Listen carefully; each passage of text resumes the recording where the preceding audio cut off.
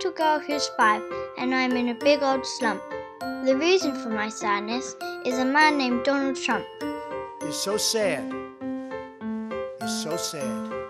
Politics is not a thing that kids care much about. But we hear about this awful man and we want to scream and shout. He upsets a lot of people and he's done some dreadful stuff. But he just gets meaner and worse than worse because he hasn't upset us enough. His latest act of madness is putting kids in cages, taking away their mums and dads for ages and ages and ages. And maybe it's forever. They may never see them again. But what does he care, as long as they're illegal women and men?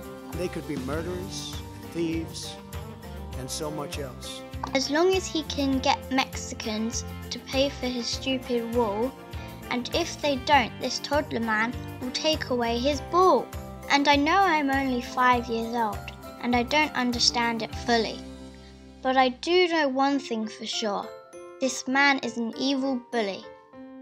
My mum says not to call people names, and I'm really trying my best.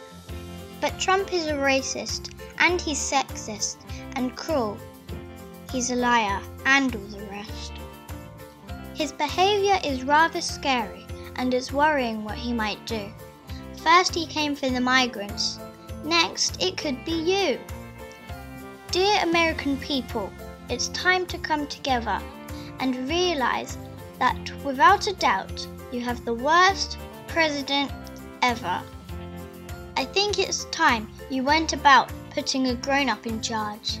You know who could do a better job? Homer Simpson and Marge. Don't understand. I can't do it. I shouldn't know about politics or care about what he did. But I do, and it really upsets me. And I'm just a little kid. And though I'm only little, I believe I'm really big. For my name is Pearl Power, and I'm stronger than him and his wig. Oh, and by the way,